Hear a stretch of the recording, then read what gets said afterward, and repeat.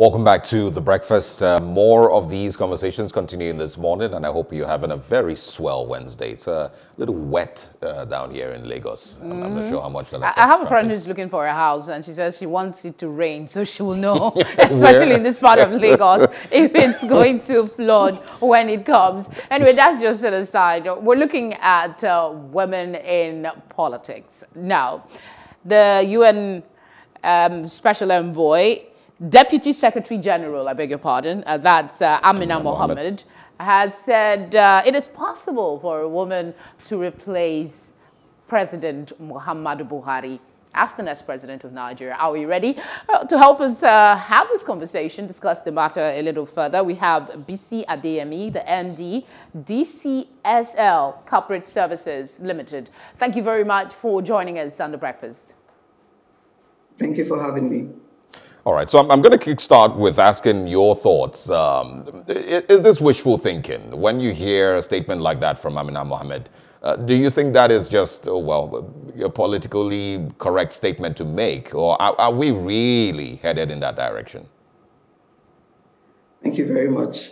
Um, I will not categorically say it's wishful thinking, but as we stand, it will be very difficult um, because we have to face reality. Not that women don't have all that it takes, they have all that it takes and much more. However, um, the, the situation in Nigeria, you know, you know, begs uh, the question. There's a patriarchal, patriarchal system uh, of our society, uh, which means that men dominate almost all the aspects um, of our lives. You know, there's also the constitution itself. Um, so whilst the constitution grants um, equality um, to to men and women, non-discrimination uh, based on gender, uh, those rights are not enforceable. So if I feel disadvantaged as a woman because, you know, like I said, because I'm a woman, I cannot enforce um, that right to non-discrimination, unlike the other other rights. Uh, the same thing with rights to property. Constitution says as, as a man or a woman, I'm entitled um, to um, to own uh, property, but we know that there are some cultures in Nigeria that um, forbid women uh, from holding property. So that right, for instance, is non uh, is non enforceable. Again, we live in a male-dominated um, society, particularly the political structure. Um, the men just simply don't want the women there. Uh, the, the entire structure from um, the House of Reps all the way um, to the president itself is male dominated. How do women penetrate um, political parties? There's also access to funding.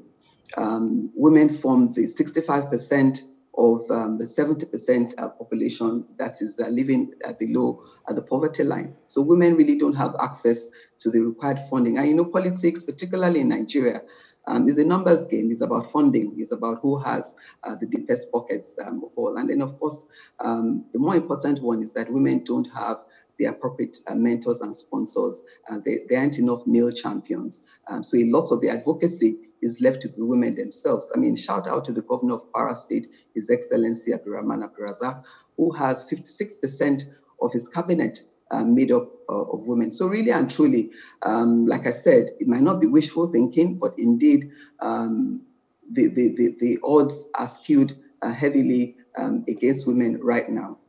That's, that's, that's my response to, to, to that um, question. Okay. Um, the, um, um, Mrs. Ahmed said it, uh, even in the face of obstacle, women should not relent in making that effort. Power is not given to anybody.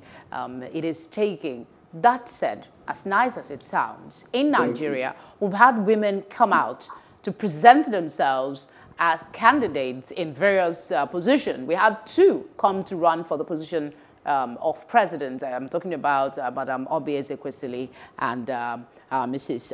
Remi Sonaiya. Uh, Sonaiya. Uh, both of them came out and to, to describe the support they got as abysmally low uh, would be an understatement. What, what do you make of the uh, support that these women who actually braved the tide, in spite of those obstacles you've mentioned, to come out to say, I want to be part of governance? So, like I said, it's this lack of champions from the male folk. You know, the women uh, push themselves. We try, you know, I mean, WIMBIZ, for instance, is, a, an organization as the WIMPOL, you know, which is Women in Politics. We've tried to do lots of advocacy to encourage more women um, to come out. But you see, because it's typically male dominated, you will need the male um, the, the, the, male counterpart themselves, the men, to come out and support the women. I mean, I, I, I, I totally get your point about the fact that it's not given, you have to take it. But in taking it, uh, there has to be a level playing field. The, the, the, playing field is not level. And you say it's not about tokenism. What do women bring to the table? You know, there's a lot of research that shows that women are better at decision making, they're better at managing risk, they're more organized. I mean, and just to give an example, you see what happened with the palliatives. I mean, I, I, mean, I'm not, I'm not trying to uh, to pull a punch here, but really and truly, um, if women had been uh, responsible for distributing the palliatives, again, to just be practical, WIMBIZ, um, you know, in the heat of the lockdown and the and the um, the pandemic, you know, actually did give out palliatives in, in, in, in to use that uh, now common um, expression, you know, and it was done seamlessly across uh, Lagos State, you know, without without any um, any upheaval. So indeed, women are better at planning and um, organizing and organizing stuff. They also bring strong ethics and consistency to decision uh, decision making. Definitely, they are more detailed and systematic. So it's not it's not tokenism. It's not wanting to just do it. I mean, if women make up almost 50% of the population in Nigeria and globally, then surely um, it means that if you don't have that representation, um, you cannot have um, you, you cannot have um, adequate uh, decision, it, decision it, it still goes back to something I was trying to say, uh, Mr. You know, to bring um, as many women to the table. It, um, it still goes back to something I was trying to say about if women, when they pull mm. together, can move mountains, why is it that yeah. they're not pulling together to, in spite of the inadequate support from the men, to make a headway mm. in this effort to bring women forward? I totally, I totally agree, and I think that there's much more that women can do. So, for instance, I had raised the issue about funding. So, women can perhaps come together, you know, crowdfunding, you know, and once there's a female candidate, let's all pull together and support institutions. I mean, institutions can actually support the women since there's a business case for doing that. But there's also requirement for legislative reforms you know, um, if you look at the Constitution, and I mean, I don't know whether this is deliberate, but when it's talking about the office of the president, for instance, it uses um, the, the, the, the, the, the he um, noun. It uses he throughout, you know. So is this is this implying that you know there will never be a time when there will be a female uh, president? So there are certain things that will have to change um, in the in the constitution. But to make those changes as well, you need to have more women in the legislature, you know, because like you said, you know, power is not just going to be uh, put to put, put to you um, on the on the platter.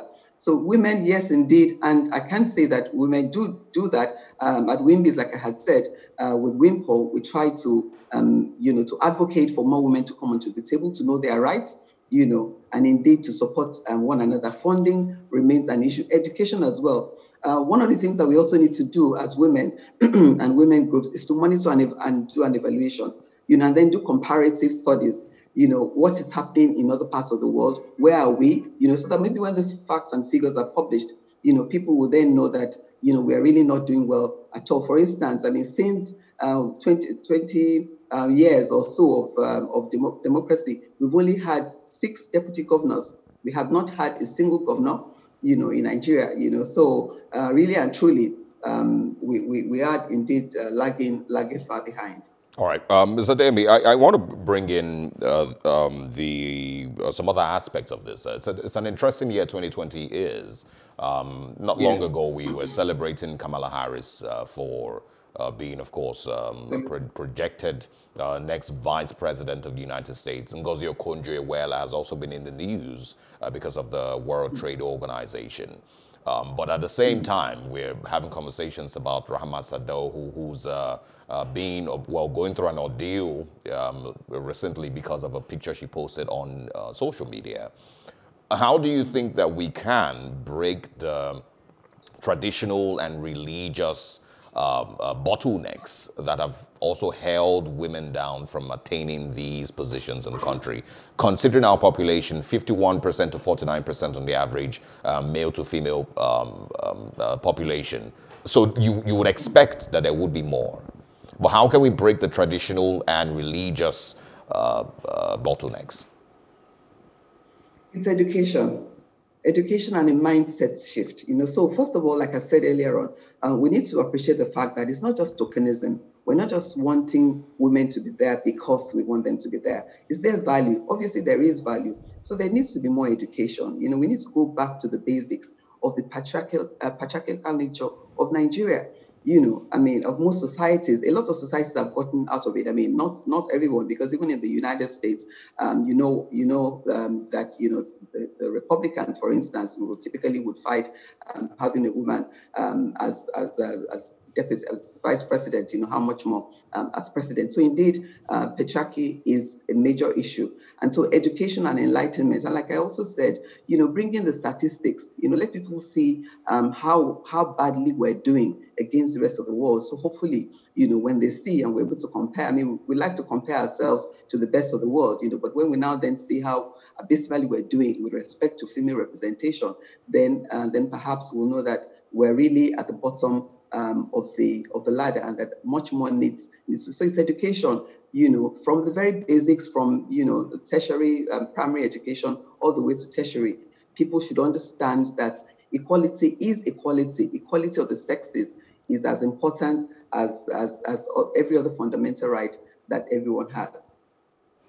All right, thank you very much, uh, Bisi Adeyemi, for sharing your thoughts with us on the breakfast this morning. Thank you for having me. You have a great day.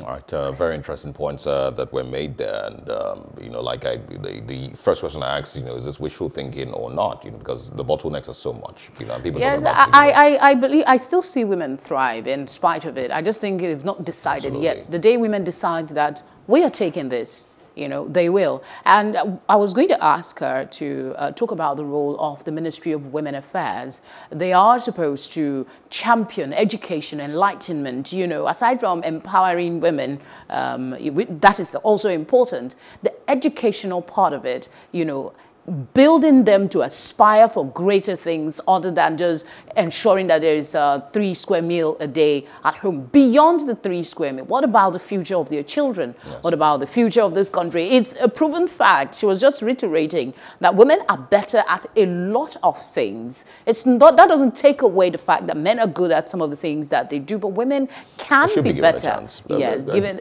I, I, I, I disagree with being given a chance. I think that I they boldly say, you know, because the it, argument it's beyond giving a chance. The argument, a lot of people, you know, I saw someone on Twitter yesterday saying, "Oh, women have been, you know, given opportunities many times and they failed," and started naming, you know, certain examples. What about know, the millions of, of men, men that have failed. failed. repeatedly and we still keep them uh, in power? It, that is not an excuse whatsoever because there are women who are champions, who are good at what they do, and given the the chance um, of the real election, also showed yeah. me a lot.